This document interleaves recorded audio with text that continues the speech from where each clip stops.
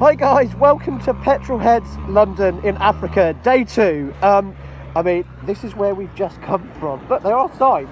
Look at these roads. Okay, there are other cars.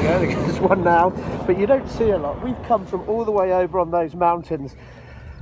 This has been one of the most epic days of riding I have ever done. Um, it, it has had some ginormous challenges. We've had some really slushy roads here I'm trying to do these updates on my phone because it's the easiest way to do it. You can see I've got the GoPro. To be honest, today I've been really concentrating on the riding because man, it has been super challenging, but so rewarding as well. We've got a bit of sunshine as well, which is great because it's been so wet for the last two days and what we're looking to do now is what I'm going to do is try and upload these little introductions where I can give you an overview of my day um, and then try and uh, on a separate file I'll upload some of these films from the GoPros.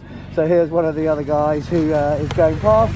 So uh, anyway so remember to keep watching.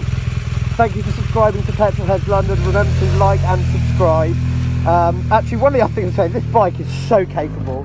It's been absolutely brilliant. It's covered in dust and mud, but it's sort of like I feel a bit now like I'm the Range Rover owner, of the Chelsea tractor with my GS at home because this thing is this is getting me through all this terrain, not me. But this scenery is just amazing. I'm going to be exhausted this evening, but I am smiling under all of this. I really am. So thank you for watching Petrolheads London. Like and subscribe, and I will put another video on with some of the GoPro footage so you can actually see what the riding was like. But I did want to talk.